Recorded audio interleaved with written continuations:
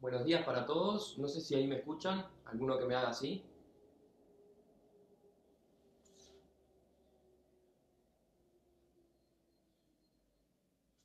Perfecto. Bienvenidos este, a esta segunda edición de, de este ciclo de webinars que estamos realizando con la Fundación Gonzalo Rodríguez. La semana pasada, para los que no estuvieron, tuvimos el webinar correspondiente a movilidad segura del niño.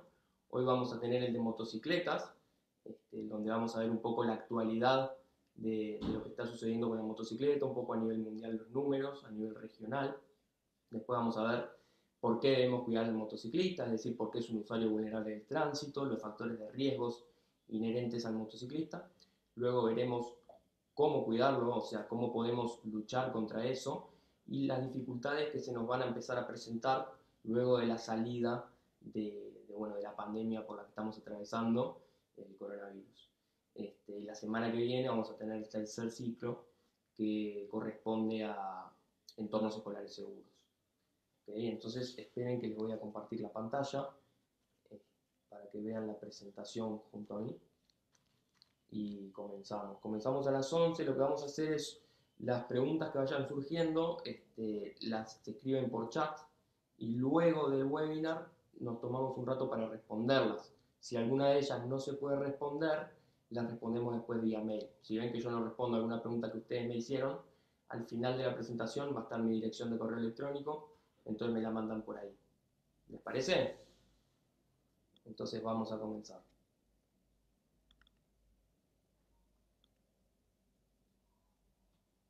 Perfecto. Bueno, mi nombre es Franco Asato, soy el coordinador técnico de la Fundación Gonzalo Rodríguez. Veo muchos nombres conocidos, este, por suerte, y para los que no me conocen, este, bueno, estoy desde hace más de un año acá en la Fundación. Parte gran parte de mi trabajo es este, relacionado con la problemática de la motocicleta, entonces estamos mucho en esto y bueno, es un gusto, cualquier intercambio que quieran hacer de aquí en más, cualquier cosa en la que nosotros podamos ayudar, o ustedes también, esto es de ida y vuelta, estamos más que en las órdenes. Y, bueno, lo que les decía, que vamos a hacer, esto va a durar más o menos 40 minutos y luego vamos a tener un ratito para, para evacuar algunas dudas. Entonces vamos ahora a lo que nos convoca, que es lo que ya un poco les dije, es la temática de lo que vamos a tratar. Primero que nada les voy a mostrar un video que es a modo introductorio de la fundación, luego vamos a ver la actualidad de la seguridad vial en general en el mundo y en las Américas. Lo vamos a bajar un poco a, la motocicleta, que es lo que nos convoca, lo que nos interesa en este webinar. Y después vamos a preguntarnos por qué debemos proteger al motociclista. Es decir, vamos a ver las situaciones o las características que hacen del motociclista un usuario vulnerable del tránsito, un usuario que tiene especiales este, peligros a la hora de, de salir a las, a las vías, ¿verdad? Y vamos a ver también los factores de riesgo en los que esos motociclistas suelen, suelen tener. Y después vamos a ver un poco, porque ahí nosotros hicimos, bueno, eh, ¿qué es lo que está pasando? Y vamos a respondernos un poco, bueno, ¿qué es lo que podemos hacer para que, para, para que esta situación no sea tan grave, ¿verdad? Vamos a hablar un poco también sobre la legislación, sobre la importancia del control y otros aspectos. Y al final, como les decía, vamos a ver los desafíos que se nos plantean, que a veces nos cuesta un poco relacionarlos porque estamos viviendo esta situación que nos toca, pero no estamos pensando demasiado en la salida y las repercusiones que puede tener esa salida para la seguridad vial. Entonces vamos a, dejar planteado también ese escenario que nos sirva de pensar. Este, este webinar, este ciclo está pensado para, para tomadores de decisiones, entonces la idea también es establecer el concepto base sobre el cual podamos seguir trabajando.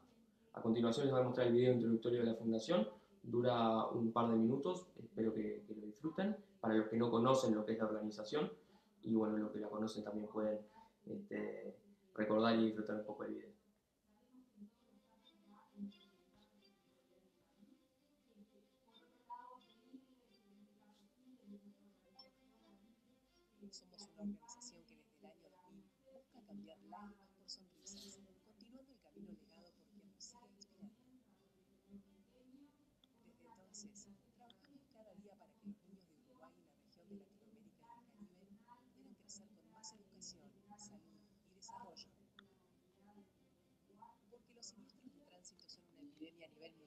Y Latinoamérica no es la excepción, pero los niños han sido los grandes olvidados en el trabajo de prevención. Diseñamos el plan Educar como un proyecto de trabajo a largo plazo abarcativo de la realidad de Uruguay para luego desarrollarse en la región. Como respuesta a la falta de estudios científicos en el tema, buscamos diagnosticar y dimensionar la situación de movilidad de los niños en cada uno de sus roles como usuarios de las vías. Porque de nada sirve el conocimiento adquirido si no se comparte con la sociedad. Brindamos cursos de capacitación y actualización en seguridad del niño pasajero, así como asesoramos directamente a los adultos en buenas prácticas de seguridad. Asumimos también la generación por primera vez en la región de un foro internacional sobre la movilidad de los niños en los vehículos.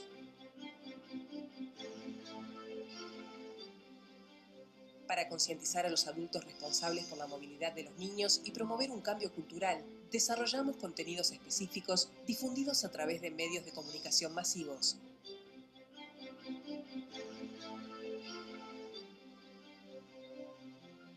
porque asumimos el rol de promover la existencia de un marco legal a nivel nacional que garantice las condiciones de movilidad seguras para los niños, respetando sus características diferentes a las de los adultos.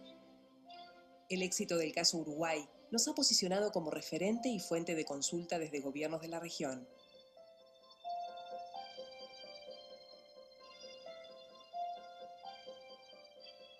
Porque invertir en prevención es invertir en más oportunidades, es invertir en un presente más seguro, pero sobre todo en un mejor futuro. Proteger la vida de todos los niños es nuestra meta, porque para nosotros no hay nada más importante que asegurarnos que lleguen a ser grandes.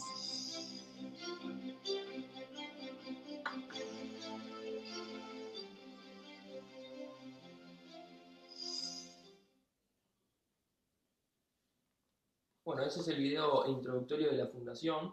Como ven, tiene mucho énfasis en, seguridad vial infantil, que es este, el área en la que la fundación viene trabajando hace muchísimos años.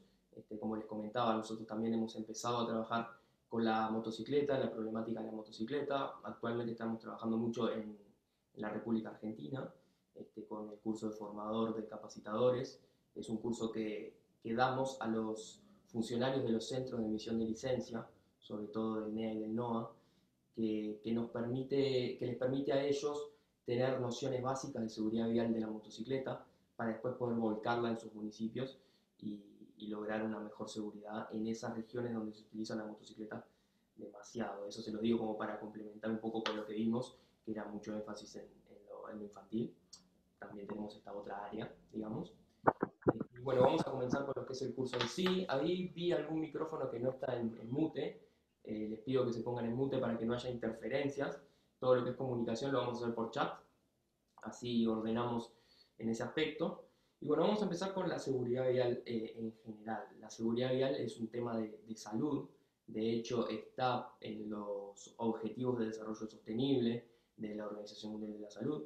Este, estos Objetivos de Desarrollo Sostenible, para quienes no lo conocen, son una serie de objetivos que la mayoría se hace hacia 2030 o hacia 2050, que básicamente en lo que, en lo que se basan es que nosotros como humanidad estamos usando mucho más recursos de lo que la Tierra nos puede dar y en algún momento si no revertimos esto, este, la cosa no viene bien, digamos. De hecho, bueno, ahora estamos atravesando un momento donde algunas personas dicen que, que, es eh, producto de nuestra manera de vivir, Dentro de estos objetivos de desarrollo sostenible, la seguridad vial está incluida, está en el objetivo 3, que es el de salud y bienestar, más específicamente en el 3.6.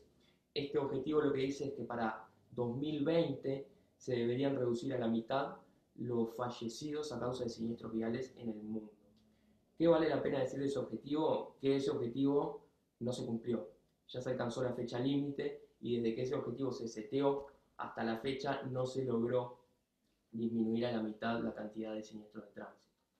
En febrero de este año hubo una, la tercera conferencia ministerial en, en Estocolmo, donde se, se, tuvo un, un, una serie de reuniones entre los ministros de, diferentes países, un montón de países, donde decidieron eh, no postergar, pero si bien valoraron el trabajo que se ha hecho, porque se ha hecho mucho trabajo en pos de disminuir la, la cantidad de fallecidos, se, se, decidió posponer, digamos, o postergar para 2030 y llegar a 2030 realmente con una disminución en un 50% al menos de los fallecidos. Esperemos que para el 2030 sí lo podamos alcanzar.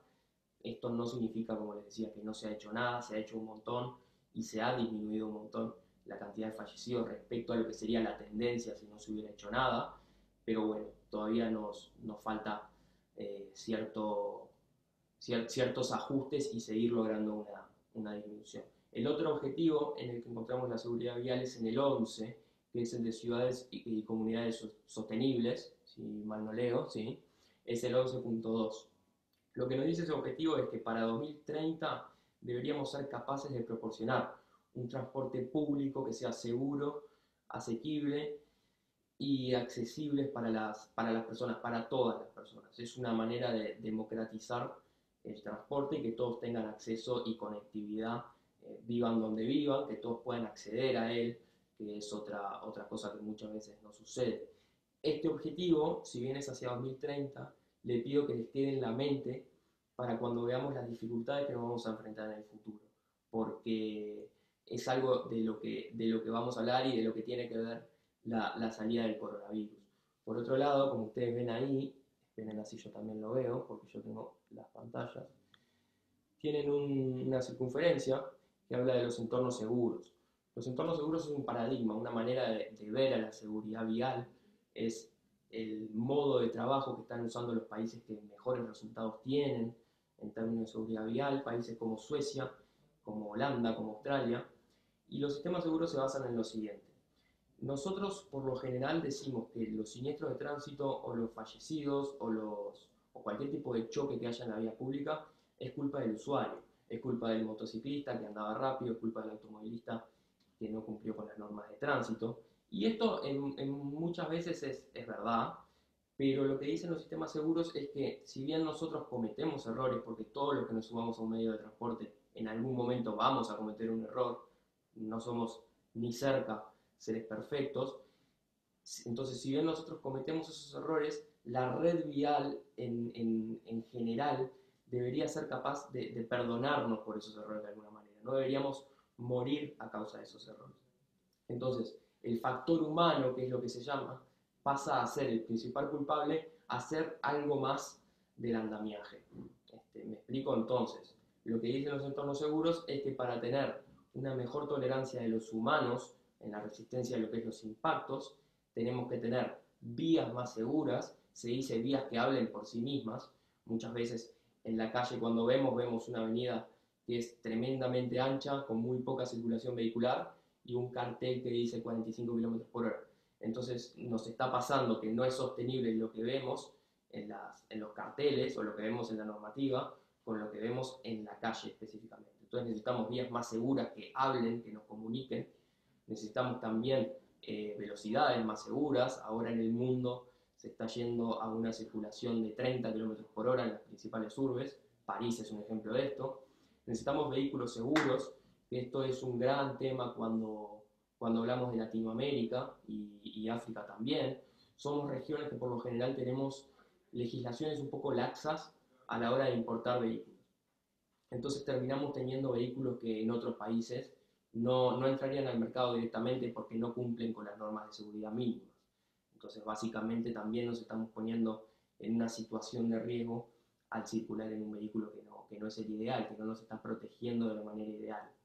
Este, con la motocicleta también pasa, ahora vamos a ver cuando, cuando estemos viendo un poco lo de estabilidad, lo que es, este, si bien la, la, construcción estructural de la motocicleta no es algo que importe tanto a la hora de un choque como en un auto, sí ciertos aspectos, como por ejemplo el freno ABS, este, que en, algunos, en estos países este, europeos y los países que realmente trabajan con estos sistemas, no entraría una motocicleta sin este tipo de frenos. Entonces tenemos que ir pensando también hacia eso, este, y no pensar que, que, esto es para países de otro mundo y nosotros no lo podemos hacer. Este, realmente se puede hacer, hay países que ya lo están comenzando a practicar, de hecho, y es algo que trae resultados, ¿verdad? Este, entonces, bueno, eso cierta, cierta un poco las bases de lo que se está haciendo para mejorar la seguridad vial en el mundo. Ahora esperen que no avance esto. Un segundo. Ahí va. Esto es la situación actual de la, de la seguridad vial en el mundo. Anualmente fallecen en las vías de tránsito del mundo 1.35 millones de personas. Esto es una muerte cada 24 segundos. Imagínense desde que estoy acá yo sentado hablándoles la cantidad de personas que fallecieron a causa de siniestros de tránsito. Obviamente con la, pandemia que estamos viviendo del coronavirus, hay mucho menos fallecidos en siniestros de tránsito. De hecho, el otro día escuchábamos que, que la República Argentina, por ejemplo, lleva alrededor de 60 días sin fallecidos peatones, sin, sin atropellados. Pero eso es simplemente porque reducimos la movilidad al máximo. Al no haber movilidad, obviamente no hay siniestros de tránsito. Pero es algo que está escondido y que va a volver a surgir cuando nosotros volvamos a las calles. Entonces quedémonos con este número. 1.35 millones de personas mueren anualmente a causa de siniestros de tránsito. Además, en el rango de edad que va entre los 5 y los 29 años, los siniestros de tránsito son la principal causa de muerte. Esto es algo especialmente grave. Estamos hablando de gente que está por entrar en su etapa productiva, por lo que es un costo para el país muy alto, un costo de oportunidad, un costo de años de vida que se pierden, un costo en términos de PBI, también hay que hablar de lo económico, eh, se pierden alrededor de entre 1 y 3 puntos del PBI por año por país debido a los costos de la, de la siniestralidad vial que es un montón, ustedes hagan los cálculos y, vean en qué se podría utilizar ese dinero si tuviéramos una buena gestión de esto, y es un montón de dinero. A nivel mundial, sacando ese rango de edad que yo les dije, es la octava causa de muerte y supera enfermedades como la tuberculosis y el SIDA. Entonces, es también una pandemia, como ahora estamos viendo el coronavirus, yo ahora les voy a mostrar los números, y, y es una pandemia que especialmente se da en países de bajos y medianos ingresos. Eh, estos países tienen el 93% de las muertes, cuando en realidad tienen un 60% del parque vehicular. Los países de altos ingresos tienen solamente un 7% de las muertes cuando tienen el 40% del parque vehicular. Entonces esto no es algo que escala linealmente y va un poco explicado también por la utilización de los paradigmas que le comenté, por la utilización de legislaciones duras para, para la utilización de los vehículos correctos. Y hablando un poco de los motociclistas, que es nuevamente lo que nos convoca, el 28% de este 1.35 millones eran motociclistas. Esto convierte a los motociclistas en usuarios vulnerables del tránsito. Ahora más adelante vamos a definir lo que es un usuario vulnerable del tránsito. Pero básicamente son los que lideran las estadísticas de muerte. Es un grupo especialmente vulnerable. Y ahora les voy a explicar lo de la tasa. Esta es la tasa regional en, las, en la región de las Américas, que es cada 100.000 habitantes hay 15.6 muertes debido a siniestros de tránsito. Una epidemia, una enfermedad epidémica según la Organización Mundial de la Salud, es una enfermedad con una tasa de mortalidad igual o superior a 10, o sea, a 10 muertes cada 100.000 habitantes. En las Américas nosotros estamos en un 15.6, o sea que ya de por sí estamos en una tasa epidémica. Pero además, observemos bien este número. Este número de 15.6 eh, es un promedio entre todo lo que es las Américas. Y el que nos baja el promedio ahí, ustedes ven 11.7, es la región de Norteamérica, Canadá y Estados Unidos. Entonces nosotros estamos en una situación como Latinoamérica, como Sudamérica, estamos en una situación bastante superior a ese promedio de 15,6, de 15, perdón, lo que hace que la situación sea aún más este, preocupante que, que, con ese 15.6. Este, acá tienen una distribución más como por país de lo que es este, las, Américas, como yo les digo, hay países como Canadá, este, como Estados Unidos que bajan un montón en promedio, y hay países como República Dominicana que están muy altos, están en 35 muertes cada 100.000 habitantes, eso es un montón. Recuerden que estamos hablando de que una epidemia es 10 cada 100.000 habitantes. Entonces, también está bueno pensar en esto ahora que somos un poco, un poco expertos en el concepto de lo que es una pandemia, este, que, esto también lo es y de alguna manera la dejamos, la dejamos desatendida porque tenemos la costumbre de, aceptarlo. Hoy murió una persona allá, este, hoy murió una persona allá, bueno, sucedió un accidente, este, siempre aceptamos como el goteo constante y cuando nos queremos dar cuenta el vaso está totalmente desbordado. es un poco lo que está pasando con la seguridad vial. Este, esto ya se los dije, que son la primera causa de muerte en niños y adultos de 15 a 29, que es especialmente preocupante, como les comentaba. Y ahora vamos también un poco a seguir con las Américas. Este, en las Américas, a nivel mundial, yo les comentaba que el 28% de los fallecidos eran motociclistas, a nivel de las Américas es el 23%, pero recuerden que estoy hablando de las Américas. Estoy combinando a los norteamericanos que usualmente no utilizan tanto la motocicleta como nosotros. Tomar un vasito de agua.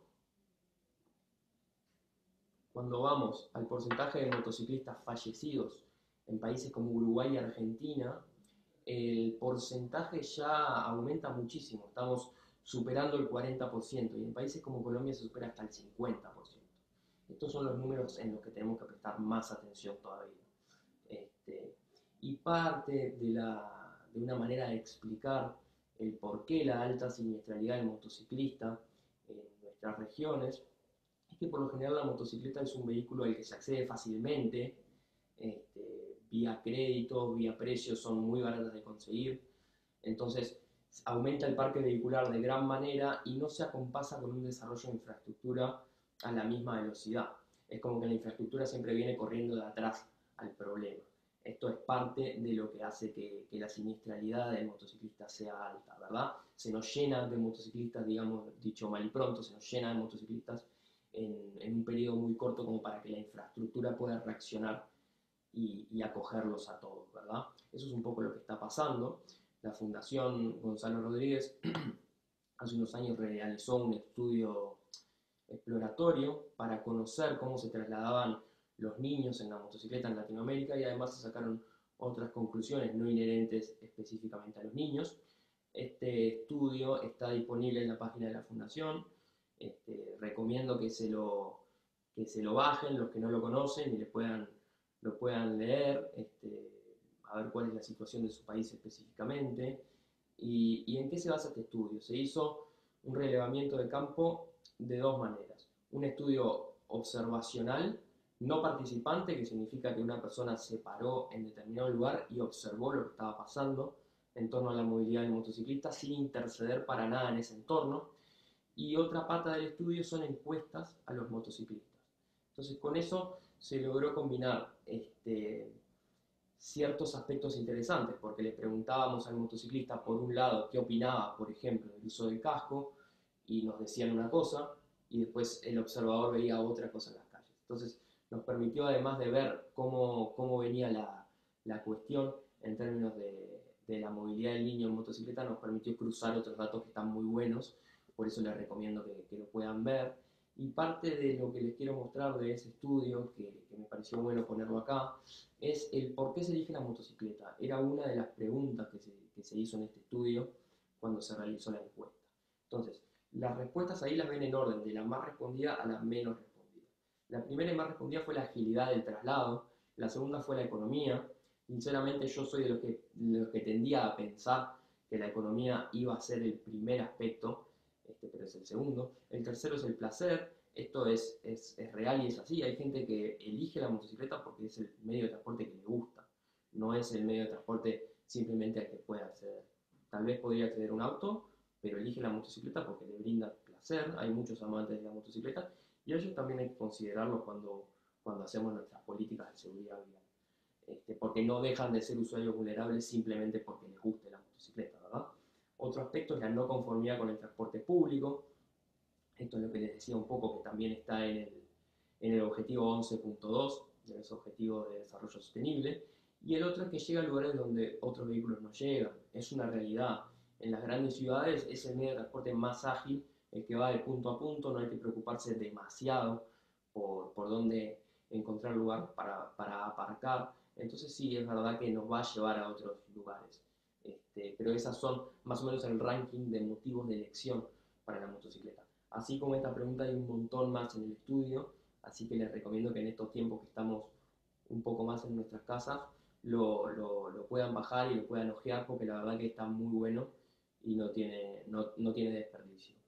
Este, ahora sí vamos a lo que es los usuarios vulnerables. Yo les comenté que el motociclista es un usuario vulnerable de tránsito junto con otro, otro grupo como los peatones, en especial los peatones ancianos y los peatones niños, los ciclistas también son usuarios vulnerables, los conductores comerciales son usuarios vulnerables también, porque se pasan demasiado tiempo en la calle. Entonces, si bien de repente van en, en un camión o en un auto de muy buenas condiciones, la probabilidad de que tengan un siniestro aumenta simplemente por el tiempo de exposición al riesgo que tienen. Entonces, bueno, un usuario vulnerable es aquellos actores que representan mayores índices de siniestralidad. Si consideramos el número que yo les dije de 1.35 millones al año de fallecidos, los usuarios vulnerables son un 54% cuando los combinamos de estas muertes. El resto son, este, por lo general, ocupantes de, automóviles de cuatro ruedas. Em, y ahora sí vamos a lo que es la vulnerabilidad del motociclista, ¿verdad?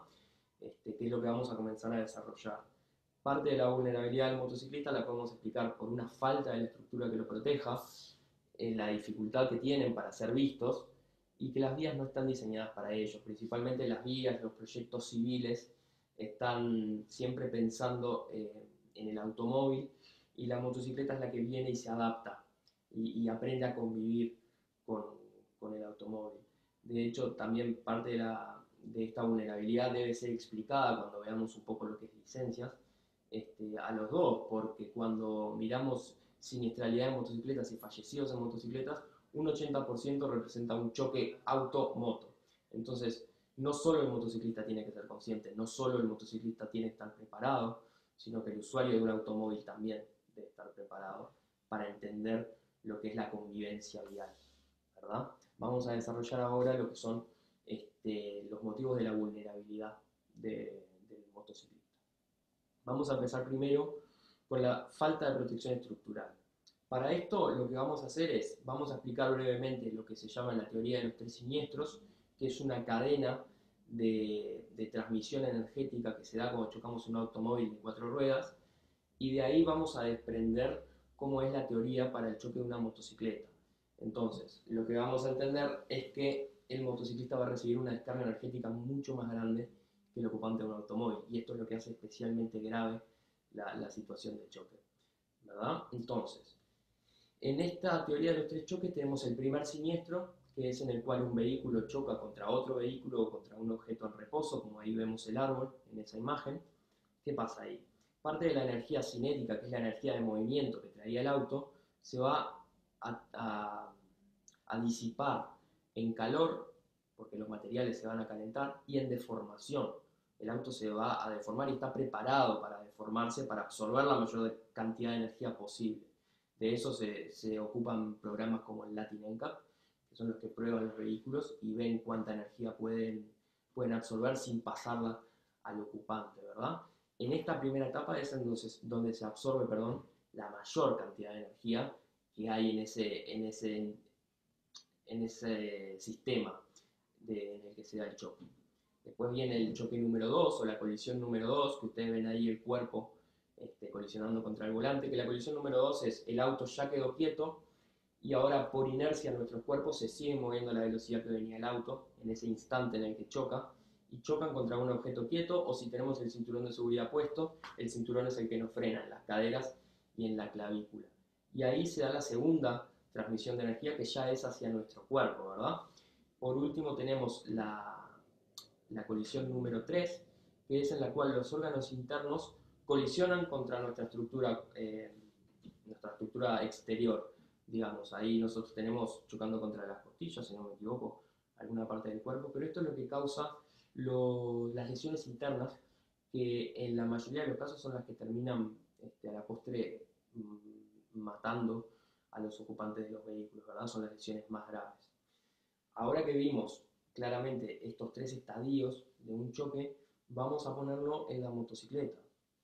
En la motocicleta claramente si hay una colisión que no aparece es la primera, que es en la que yo les dije que se disipaba la mayor cantidad de energía. ¿Por qué? Porque la moto no tiene una estructura que proteja al motociclista. Muchas veces se dice, este, en, este, en este webinar hay un montón de motociclistas y, ellos lo saben y, y lo dicen, que en la motocicleta el paragolpe es uno, lamentablemente. Entonces la descarga energética se da en el estadio 2 y en el 3, que son todas en el cuerpo del, del usuario. Esto hace que, que, esta energía en, en, juego sea mucho mayor y nuestro umbral es el mismo, entonces por lo general nos pone más riesgo este, y hace que seamos más propensos a una lesión grave o, hasta la muerte, ¿verdad? Esto es una de las causas, yo diría la principal, de la vulnerabilidad del motociclista. Este, vamos a pasar a la siguiente. Otra razón por la que el motociclista es un usuario vulnerable del tránsito es porque esta es bastante simple de comprender. No es un, un vehículo que sea excesivamente visible para los, para los demás vehículos. Muchas veces los choques se dan porque eh, directamente no lo ven. Hay un problema con los puntos ciegos de los automóviles. Es muy fácil que la motocicleta quede en el punto ciego de un, de automóvil y esto es causa frecuente de los siniestros del motociclista y también el tema del peso, ¿verdad? La energía que puede llevar, la energía cinética esta de movimiento que lleva una motocicleta, eh, a menos que vaya demasiado rápido, es siempre menor a la energía cinética que lleva un automóvil. Entonces cuando se da el choque, esa descarga energética siempre es contraproducente para el motociclista. Este, este, este es otro motivo de la vulnerabilidad. Y después la estabilidad, que era cuando yo acá les dije que les iba a hablar un poco de, de los frenos ABS. La estabilidad acá no es tan trivial como es la estabilidad en un automóvil, que es verdad, se puede perder, pero es mucho más difícil perder la estabilidad en un automóvil. En una motocicleta depende de cuatro factores. Una es la pericia conductiva, la habilidad de quien está a, cargo de guiar esa motocicleta. Otro factor es la calidad de la infraestructura en la que está circulando, en la calle, si es de grava, si es de asfalto, si está en buen estado, si está en mal estado. Otro es la velocidad a la que está circulando, ¿verdad? La motocicleta se vuelve más inestable, cualquier vehículo se vuelve más inestable conforme vamos más rápido. Y, el cuarto motivo es el estado de las cubiertas. Este, recuerden que la motocicleta está conectada al piso en solamente dos puntos. Y, muchas veces vemos en, la, en las calles eh, motocicletas que no están en buen estado y las cubiertas son un factor clave tanto en el, automóvil como en la motocicleta. Este, acá les voy a mostrar algo que, este es un video de un, de, de Latin perdón, en, un evento que hacen ellos que se llama Stop the Crash, que muestran eh, vehículos que tienen ciertos dispositivos de seguridad activa, cómo se comportan y vehículos que no lo tienen, entonces hacen la comparación y lo mismo con motos, yo lo que le comentaba era el ABS, lo que vamos a ver ahora es lo rápido que se pierde la estabilidad en una motocicleta sin frenos ABS, frenos antibloqueo. Y después lo vamos a comparar con una motocicleta que sí tiene los ABS. Entonces vamos a ver que el motociclista no solo va a ser capaz de mantener la estabilidad de la motocicleta, sino que va a ser capaz de frenarla en una distancia mucho más corta.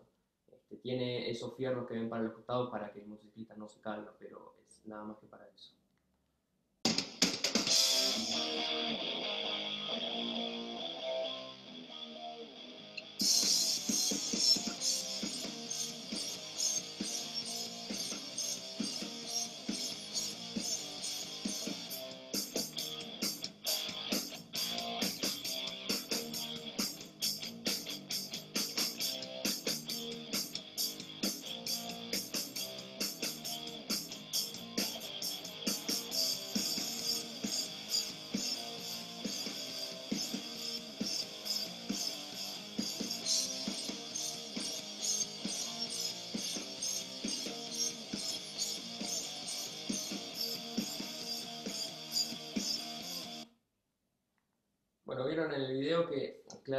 cuando la motocicleta no tiene los frenos ABS, las ruedas bloquean. Cuando se dice bloquean es decir que quedan estáticas y resbalan y la estabilidad se pierde enseguida.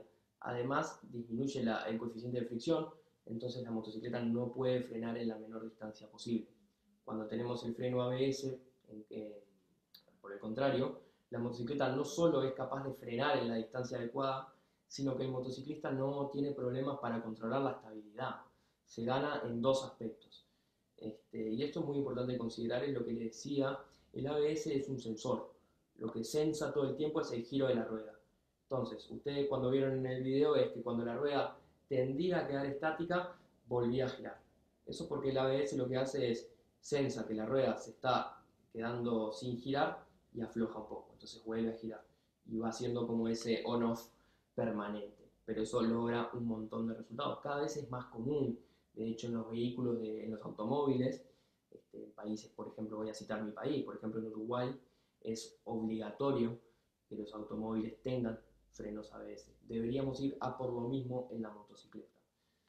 Este, otro, otro motivo de vulnerabilidad, esto es una vulnerabilidad doble, es la conducción comercial. Yo les comenté que la conducción comercial eh, representa una vulnerabilidad para el usuario debido a que está mucho tiempo en la calle y eso aumenta la probabilidad de choque.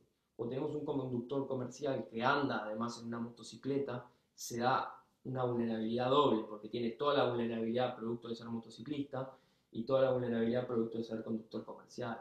Además, esto en Latinoamérica es cada vez más frecuente, el hecho de tener un montón de deliveries, de cadeterías, este, que muchas veces circulan en, en, condiciones que no son, no son las ideales. Este, además, el trabajo contra el tiempo hace que sean proclives a, a no cumplir con las normas de tránsito porque muchas veces obviamente cuando nuestro ingreso depende de la cantidad de envíos que hagamos, vamos a tender a ir más rápido, este, independientemente que sepamos o no lo, lo, peligroso que puede ser.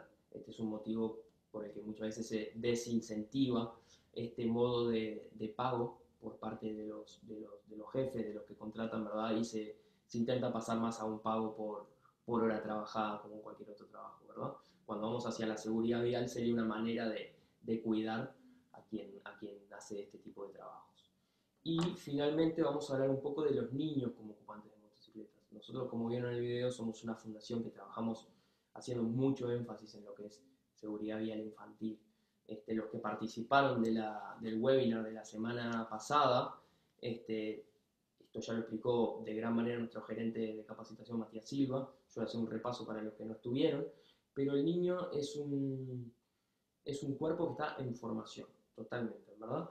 Entonces, el umbral de energía del que yo le hablaba, que, que, un ser humano puede recibir, si el de un adulto está acá, el de un niño está acá. Entonces, eso explica básicamente, para no entrar en detalle, la vulnerabilidad del niño. El niño es un ser que tiene el cuerpo en formación, su cabeza está en formación, sus huesos están en formación, entonces no puede ser expuesto a la misma este, cantidad de energía y desaceleraciones a las que pueden ser expuestos nuestros cuerpos, ¿verdad? Además, cuando hablamos de, la motocicleta. Imagínense que para que un niño utilice un, automóvil de manera segura necesitamos los sistemas de retención infantil. Este, imagínense cuando les digo que para la motocicleta por lo general no hay en el mercado cascos pensados para niños de menores, menores a 6 años. Entonces esto hace que, la situación sea aún más complicada. La recomendación es lisa y llanamente que los niños no, no anden en motocicletas, no circulen, que, que se evite a toda costa. Y otra cosa que les quiero comentar acerca de los niños en motocicleta es como ustedes ven en esa imagen, todos tienen casco, la niña no. Este, esto es un poco lo que les explicaba, que no hay cascos para menores de 6 años, pero también la posición. La motocicleta es un vehículo diseñado para que la única posición en la que se pueda llevar pasajeros sea la que está detrás del conductor. Esto es por un motivo de distribución de peso y por un motivo de mantener la estabilidad. Si nosotros tenemos un objeto delante nuestro, va a ser mucho más difícil guiar la motocicleta y vamos a ser mucho menos ágiles. Y además nos va a correr el centro de masa de la motocicleta hacia adelante y se va a volver mucho menos estable. ¿Y esto por qué se los digo? Porque en el estudio que hizo la fundación, del que yo les comentaba anteriormente, la posición en la que más se vio niños en esa posición, que es la llamada posición cero. Entonces estamos este, viendo, digamos como para resumirlo, que en nuestras regiones circulan muchísimos niños en motocicleta, que no es lo ideal, este, muchas veces es inevitable, también debemos ser sinceros, este, pero además circulan en la posición que no deberían circular. Muchas veces es también como una falsa seguridad que siente que tiene el padre por, por estar viéndolo todo el tiempo, pero es una inseguridad tanto para él como para su niño. Este, estos son más o menos los, los motivos principales por los cuales un motociclista es un usuario vulnerable del tránsito. Y ahora vamos a ver los factores de riesgo en los que suelen incurrir los motociclistas. Así tenemos como el, espectro completo de por qué el motociclista es un usuario al que debemos prestarle especial atención, ¿verdad? Un factor de riesgo, y esto lo voy a leer tal cual porque es una definición de la, de la OMS, es cualquier rasgo, característica o exposición de un individuo que aumente su probabilidad de sufrir una enfermedad o lesión. Factores de riesgo tenemos en todos lados. Cuando salimos a la calle, este, ya aumentamos nuestra probabilidad de que nos suceda algo. El factor de riesgo específico en el que suele incurrir el motociclista es la no utilización del equipamiento protector. Esto sucede mucho, o la utilización de equipamiento protector no homologado, o la utilización de casco de seguridad, por ejemplo, no abrochado, este, es un factor de riesgo. La circulación a alta velocidad, esto es un factor de riesgo tanto para, para, para cualquier vehículo, digamos. El consumo de alcohol y sustancias no permitidas también. La exposición prolongada, como les comentaba, en los conductores comerciales. Y la falta de una infraestructura segura, que también ya lo hemos nombrado. Entonces, ahora vamos a ver más o menos unos, unos a modo de títulos cómo podríamos ayudar al motociclista, cómo podemos cuidarlo. Debemos incurrir en una mejora en los procesos para la obtención de la licencia de conducir, lo que hemos visto, este, sin entrar país por país, porque es algo que se repite en, en casi todos los países de Latinoamérica, es que es muy laxo el proceso para obtener la licencia de conducir. Muchas veces es un mero trámite administrativo. Entonces estamos diciendo, por un lado, que son los actores que más debemos cuidar, pero por otro lado los estamos licenciando de una manera muy laxa. Esto es algo en lo que debemos hacer énfasis. La utilización del equipamiento de seguridad es otra. Este, vamos a hablar un poco también de la fiscalización, pero debemos hacer énfasis en que, en que realmente alguien esté controlando que el motociclista use este, el equipamiento de seguridad adecuado. La mejor calidad de las motocicletas es algo que, que ya hemos hablado, sobre todo haciendo énfasis en la en, los sensores ABS para, para, el freno y el mantenimiento de la motocicleta. Em, vemos que las motocicletas, usualmente las que se utilizan para trabajo comercial, tienen un nivel de mantenimiento muy bajo y esto las hace este, más peligrosas, digamos, desde cualquier punto de vista. Desde el más tonto hasta el más importante. De repente estamos hablando de una falla en los frenos, que es algo importante, pero de repente estamos hablando de luces quemadas. Recuerden que dijimos que la, un motivo de vulnerabilidad es la baja visibilidad. Entonces tenemos que tener todo ese espectro. Y para eso recordemos que tenemos las inspecciones técnicas vehiculares. Entonces tenemos que, comenzar también a, hacer énfasis en que la inspección técnica vehicular se use para la motocicleta y realmente se exija, se exija tanto a nivel este, de fiscalización como a nivel mismo de quienes, quienes contratan los servicios de, una persona que, que trabaja con la motocicleta, ¿verdad? Estos son a modo de los titulares. Ahora lo que vamos a ver un poco, vamos a hablar de los elementos de seguridad.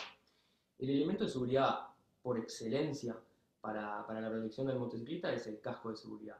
Esto es sin dudas y es debido a que el 68% de las lesiones que sufre un motociclista se dan a nivel de la cabeza. Esto es un estudio que hizo la, la NITSA en Estados Unidos.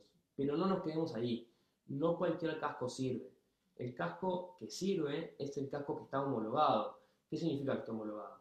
Un casco se hace bajo una normativa internacional o nacional y la normativa lo que dice es cuánto tiene que resistir cuando se le hacen determinadas pruebas de impacto, pruebas de absorción de energía, pruebas de, que, por ejemplo, las piezas no sean fácilmente inflamables, piezas de que no se salga fácilmente, eh, perdón, ensayos de que no se salga fácilmente de la cabeza cuando recibe un impacto. Entonces son cascos que pasan por un proceso de laboratorio y hay un ente que realmente certifica que el casco es seguro.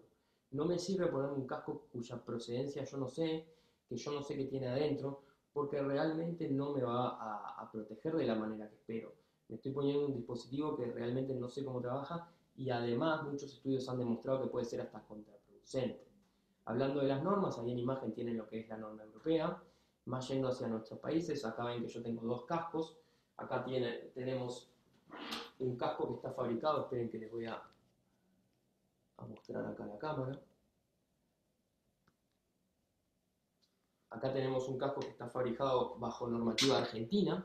Esta normativa es la IRAM AITA 3621 y este es el sticker que deberían ver en la República Argentina que les dice que el casco está debidamente homologado y, se permite este, para circular en las vías de, de Argentina. Además este casco lo que tiene, ya aprovecho a mostrarles, es que está lleno de porcentajes por todos lados, como pueden ver. Estos porcentajes lo que indican es el porcentaje de golpes que recibe cada zona del casco. Por ejemplo, en esta zona se recibe un 15.2%, en esta zona se recibe un 19.4% y así. Esto también explica en parte este, el tipo de casco que se debe usar. Esto es un casco integral que cubre toda la cabeza. Entonces, Si nosotros utilizamos un casco abierto, que es como el que tienen en la pantalla, esperen que les voy a volver a compartir. Si ustedes utilizan un casco abierto, que es el que está aquí en el medio, esa parte no va a ser protegida. Entonces, por, eh, lo general, este, vamos a recomendar la utilización de cascos integrales para que toda la cara esté protegida.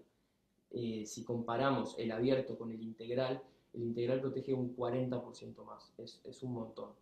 Este, y ahora, para los uruguayos que están en la, en la conferencia, les voy a mostrar también el casco que tengo a mi izquierda, que es un casco homologado bajo normativa este, vigente nacional. El, el ensayo está a cargo de la Facultad de Ingeniería, del Instituto de Ensayo de Materiales, y el sticker que tienen que encontrar es este. Es un triángulo amarillo con el IEM, que es, la sigla que yo le decía, Instituto de Ensayo de Materiales, y aprobado. Otros países obviamente van a tener sus normativas y van a tener su, su, modo de, validarlas y de trasladarlas al casco, ¿verdad? Esto a modo de ejemplo me, me interesaba mostrarles los cascos que, que, pueden circular en la República Argentina y en la República Oriental del Uruguay. También es importante el uso de chaleco, que lo que nos va a aumentar la visibilidad. Yo les hablaba de que muchas veces la visibilidad es, es algo tan tonto como tener una luz quemada, ¿verdad? Entonces los chalecos nos pueden salvar de una situación donde de noche nos pase, nos pase algo así y nos van a aumentar la visibilidad contra, contra otros vehículos. Este, y bueno, volviendo al uso del casco, tenemos que tener en cuenta que la utilización de un casco correctamente homologado versus la no utilización de un casco nos va a disminuir la, la chance de morir en un 40% y la chance de resultar gravemente herido en un 70%. Entonces, no es algo que, sea para nada despreciable, el casco se debe usar y, debemos hacer mucho énfasis en eso y debemos usar el casco correcto, como les decía. Este video es un ensayo que hizo la Agencia Nacional de Seguridad Vial de la República Argentina Básicamente son dos cabezas de yeso, una con casco, otra sin casco, a las cuales se les tira una masa desde la misma altura. Entonces están recibiendo la misma energía este, en sus cabezas, digamos. Y bueno, vamos a ver el video de lo que sucede, supongo que ya se lo imaginan, pero vamos a verlo. Dos, tres. A veces cuesta creer. Eso es real. El casco está armado de una manera este, que no es solo una cáscara de plástico, sino que adentro tiene rellenos amortiguadores que hacen, que hacen de amortiguadores para esa energía. Entonces, el impacto se lo lleva, esa energía, perdón, se la lleva al casco y no se la lleva a la cabeza, no se traslada al usuario. Lo que también suele suceder es que el casco no se usa abrochado. Siempre tenemos que hacer énfasis, y esto lo vamos a ver como yo muestre ahora la legislación, que el casco tiene que ir abrochado, si no es lo primero que se sale. En un siniestro lo primero que va a salir volando si no está abrochado es el casco. Acá lo que les voy a mostrar es un testeo de un casco que se hizo en la Facultad de Ingeniería de aquí de, Montevideo. Eh, es un casco que no pasó la norma porque no pasó el ensayo de, penetración que se le hace. Ustedes van a ver lo que pasó.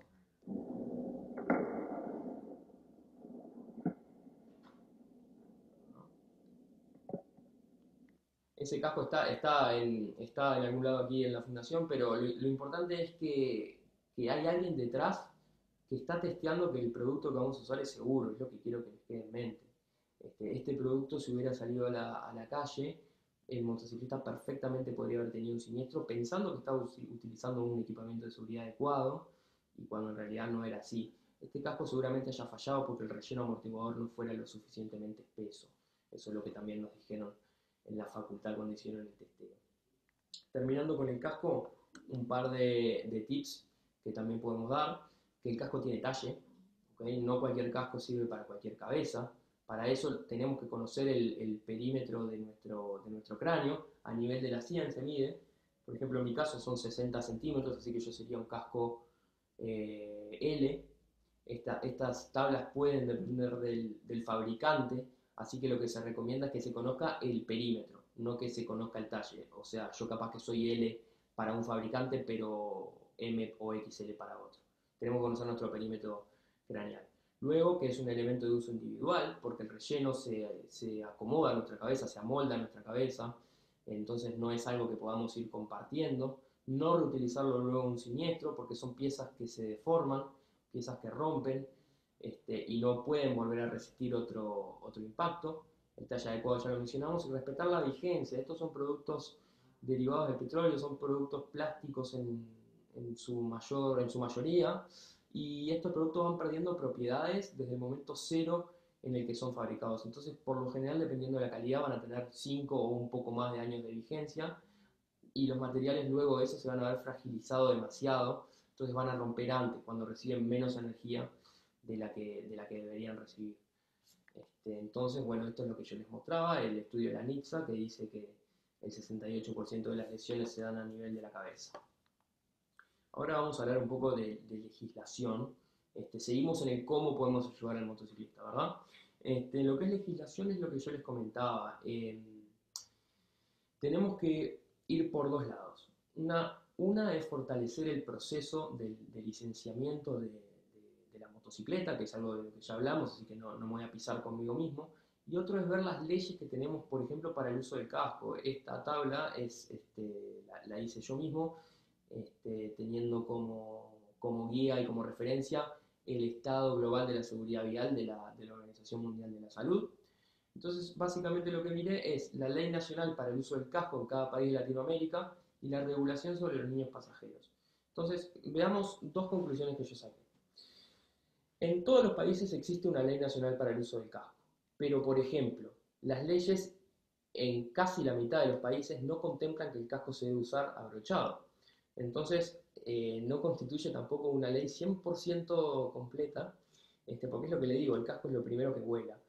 Este, y además está el tema de la fiscalización, ¿verdad? Algo en lo que no, no, no se puede entrar solamente haciendo un estudio legal. Además hay dos países que si bien exigen la, utilización del casco, no exigen la utilización de un casco homologado. Debemos ir a por leyes que, sean holísticas, que consideren todo. Y en cuanto a la, regulación sobre niños pasajeros, no hay, una, no hay una homogeneidad en lo que es la regulación a, lo largo de Latinoamérica. Este, obviamente primero tenemos que, controlar las cosas a nivel eh, nacional, pero luego tenemos que, establecer una homogeneidad regional también para ser un poco consecuentes con lo que decimos y hay varios países que directamente no tienen regulación, o sea que cualquier niño este, desde, que, desde que nace básicamente podría andar en una motocicleta y hay países que como, como Uruguay por ejemplo que tienen este, prohibido hasta llegar a la pie, pero la pie es algo que muchas veces se puede regular, entonces no es algo como muy muy, digamos, objetivo. ¿okay? Y después tenemos un rango diferente de edades que va variando de país en país. Entonces creo que tenemos que ir por dos lados, que es la, la legislación desde el punto de vista de la licencia de conducir y la legislación desde el punto de vista de lograr mejores leyes. La fiscalización es un motivo obvio. Sabemos que mucha gente este, no, no es este, partidaria o no, no le parece algo súper positivo, porque muchas veces se ve con, con ojos de recaudatorio, pero tengamos en cuenta que es una realidad que tiene que haber un tercero independiente que, que verifique que realmente estamos cumpliendo las reglas y que estamos utilizando este, el equipamiento de seguridad adecuado, este, capaz que no con, no con multas, pero sí con recomendaciones. Este, que la motocicleta está en condiciones de circular, por lo que hablábamos de la convivencia, la motocicleta es nuestra, el auto es nuestro, pero la calle no, la calle es de todos. Entonces, tiene que haber alguien que regule lo que está pasando, este, y eso va a ayudar a disminuir la, la siniestralidad, eh, sin dudas. Entonces, ahora lo que, lo que a modo de resumen les hago de lo que hablé para quedar bien ordenados es mejorar los aspectos legislativos en algunos países de Latinoamérica, fortalecer el proceso para la licencia de conducir, llegar a una obligatoriedad de la inspección técnico vehicular para lo que es el mantenimiento y el estado de las motocicletas, regular la calidad de las motocicletas, la obligatoriedad de, obligatoriedad, del ABS, y mejorar este, lo que es el nivel de fiscalización, tanto para el traslado de niños, el equipamiento de seguridad y el cumplimiento de las normas de tránsito en general. Este, y ahora, para cerrar, lo que vamos a hablar antes de pasar a las preguntas es un poco de los aspectos, me fui un poco largo, empezamos a las 11, pero bueno, no importa. Este, de los aspectos que se nos vienen. Este, nosotros estamos en plena pandemia, por primera vez en muchísimos años, y ¿qué pasa? Los transportes públicos eh, estamos hablando de que para respetar la distancia social van a tener que bajar a una ocupación del 30% de lo, que, de lo que ocupan habitualmente. ¿Qué significa eso? Que de 10 personas que usan el transporte público, hay 7 que van a tener que elegir en qué otra forma eh, llegar a sus trabajos o en qué otra forma seguir realizando su vida diaria. La opción natural, por motivos económicos, va a ser la motocicleta. Entonces, debemos prepararnos para que a la salida del coronavirus, cuando los países empiecen a retomar sus actividades, veamos nuestras calles con muchísimas más motocicletas de las que estamos acostumbrados a verlo. Eso suma un montón de gente que no tiene nociones básicas para conducir en la calle y suma un montón de peligros por todo lo que ya hemos visto. Entonces esto también lo planteamos como para que estemos pendientes, este, pensemos en maneras en las que podríamos paliar eh, las consecuencias de esto y, estemos preparados, ¿verdad?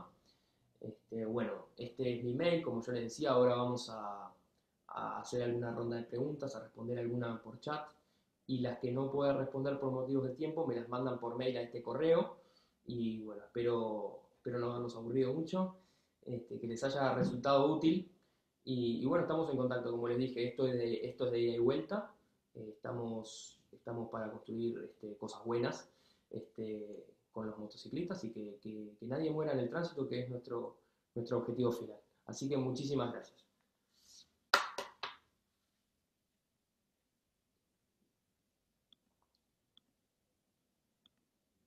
Esperen que vamos a abrir ahora abrir alguna pregunta. Los ensayos, acá tengo una, los ensayos que se realizan en su país son solamente de impacto vertical. En España estamos intentando que la homologación pase por pruebas de impactos laterales y oblicuos, porque no tiene sentido priorizar las homologaciones basadas en impactos verticales. Este, mirá, ahora lo que tenemos en Uruguay es, tenemos las dos pruebas de impacto son verticales, tenemos la de resistencia a la penetración, que es la que, que les pasé ahí en el casco que no, que no la probaba, y tenemos una prueba de impacto a la que se le tira, en lugar de un, de un, de un dardo, se le tira a un plato, pero también es vertical. Después tenemos la prueba de resistencia al descalce, pero no es de impacto en sí. Así que la respuesta sería que sí, que, que las pruebas que tenemos actualmente son de impacto, de impacto vertical. Pues acá tenemos otro. Usted habló sobre velocidades seguras al 2030, pero los vehículos poseen kilometrajes altos de fábrica. En las motocicletas hay velocidades hechas para sentir la adrenalina en la carretera. ¿Cómo regular y llegar a objetivos de velocidades? Esto es verdad y, y esto es algo que nosotros debemos de trabajar en conjunto con, con los creadores de leyes para controlar que si bien la motocicleta puede alcanzar velocidades más altas, controlar que efectivamente el usuario de la motocicleta no lo haga y trabajar también con los, con los, con los fabricantes que eso a veces es, es, la pata más difícil de la situación. Por ejemplo, ayer salió una noticia de que Volvo, el fabricante de automóviles, eh, decidió limitar a 180 km por hora, que igual es una velocidad altísima, pero decidió limitar las velocidades máximas de todos sus vehículos este, para, para, justamente empezar a, a, abogar por lo que es no, no, llegar a velocidades que son totalmente locas, como vos decís, estas son velocidades de, de competición de carreras que no son necesarias en los vehículos que utilizamos día a día, pero hay que trabajar en muchos sentidos. Este, no es solamente hacer una ley, es obligar a la gente a que la cumpla y es intentar que los fabricantes tampoco nos den productos que nos intenten pecar, nos intenten hacer pecar de alguna manera. ¿Verdad? Alguien me preguntó si podíamos grabar. Este, bueno, ya es tarde, pero la, la sesión está grabada, así que en todo caso se comunican con nosotros y podemos facilitárselas, eso no hay problema. Este, ¿Cuál más? Harold de Costa Rica. Para el periodo de preguntas, usted habló de la... Ah, bueno, es, es, el, es, el, mismo. Para usted, la importancia que tiene el visor del casco. ¿Qué importancia tiene el visor del casco tanto para la movilidad como para evitar el contagio de COVID-19? Bueno, esta es una pregunta muy buena. Yo voy a responderte, Giovanni, este, Aldana, lo que refiere a la, movilidad, ¿verdad? Este, y el visor es súper importante. Si nosotros miramos acá el casco que yo tengo, con los porcentajes, no lo van a ver por el sticker, pero en el visor se dan alrededor del 10% de los impactos en esta zona. Entonces, si no utilizamos un casco con visor o un casco abierto con las antiparras adecuadas, este, vamos a tener chance de recibir impactos ahí. No son impactos, sino objetos que cuando nosotros vamos en la motocicleta se nos van a meter y nos van a tapar directamente la vista. Y es un buen punto el que mencionás, porque además el visor también es testeado. El visor tiene que resistir lo mismo de lo que resiste la cáscara, porque el impacto que reciba ah, en la zona del visor también tiene que ser soportado, no lo puede penetrar. Lo que refiere al COVID, ahí sinceramente este, no, no te podría dar una respuesta de si, de si utilizar el casco integral este, con o sin el visor va a sustituir a, un, a un, barbijo. Eso la verdad que, que, ahí no te podría dar una respuesta, este, pero obviamente sí establece una, una frontera entre la cara y, el exterior. Este, pero eso yo te lo dejaría más para un infectólogo porque no, te, no me gustaría darte una respuesta que no sea así. Este, otra pregunta que me hacen es, ¿ha pensado la Fundación en promover el uso seguro de chaleco con airbag universal para camperas de motociclista? Eso es una muy buena pregunta, Andrés, y es algo que se viene. Este, nosotros tenemos este, en Colombia la, experiencia que se está realizando de que hay una empresa nacional que lo fabrica y, es como decís vos, los precios están bajando. Sí, obviamente recomendamos que, que, de ser posible se utilicen. El, el, tema que, claro, que no están a la mano económica y logística de la mayoría de nuestros países. Por ejemplo, acá en el mercado uruguayo o en el mercado argentino va a ser muy difícil conseguirlo y si lo conseguimos, cada cápsula de, dióxido de carbono va a ser muy cara de, comprar. Entonces, sí, son cosas a las que creo que la tecnología va llegando, los precios van bajando, pero todavía tenemos que esperar un poco. Pero si se tiene la oportunidad, obviamente se recomienda usarlos. Para los que no conocen, las camperas con airbag son camperas que se conectan a cápsulas de dióxido de carbono. Entonces, esa, cápsula, esa campera se conecta como con un precinto a la motocicleta. Entonces, cuando nosotros tenemos un siniestro, chocamos, salimos despedidos, ese precinto se rompe, la cápsula explota y la campera se infla, hace una especie de airbag. Lo bueno es que las camperas se pueden reutilizar después del siniestro. Lo que tenemos que hacer es conseguir otra cápsula de dióxido de carbono, eso es lo que, lo que se gasta. ¿Verdad? Este,